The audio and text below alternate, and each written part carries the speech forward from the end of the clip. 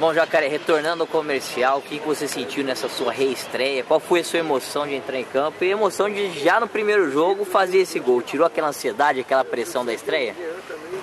É, é muito importante estar tá voltando a fazer gols pelo comercial e melhor ainda, melhor ainda estar tá de volta aqui, né?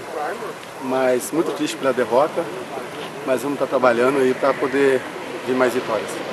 Exatamente, né? O que acabou estragando a sua estreia foi, foi eh, realmente essa derrota, né? Comercial 23 resultados bons, né? Estava invicto até então e sofreu essa derrota. O que, que o, o clube precisa para retomar esse caminho da invencibilidade? Olha, as coisas vinham vinha, vinha acontecendo naturalmente. E agora é continuar trabalhando e, e procurar fazer as coisas como o professor pede, que as coisas vai, vai voltar a acontecer chegou não estava ainda 100%. Como é que você se sente depois de ter atuado, depois dessa semana comercial vai ter de treinamentos até o próximo jogo? Olha, 100% é difícil eu dizer que eu estou, né? Mas a gente vai trabalhar aí para buscar, para buscar estar 100%. E o entrosamento, como é que tá? Ah, não, isso é fácil. É fácil no meio dos goleiros é fácil entrosar 100%.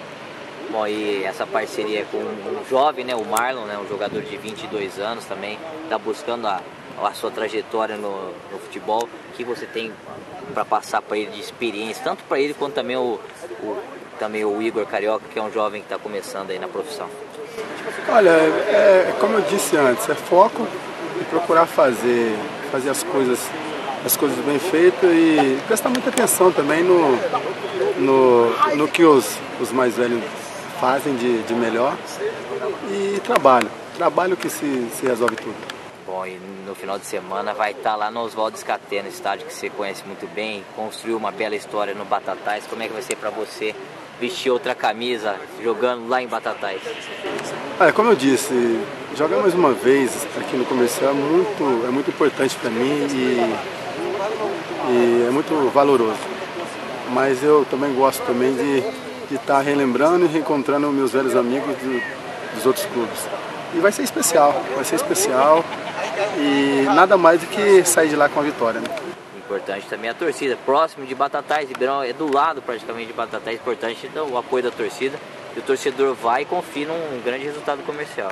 É claro, a gente, a gente, a gente espera né, o apoio da torcida e é muito válido isso e o torcedor tem que ajudar a gente, para a gente sair de lá com a vitória.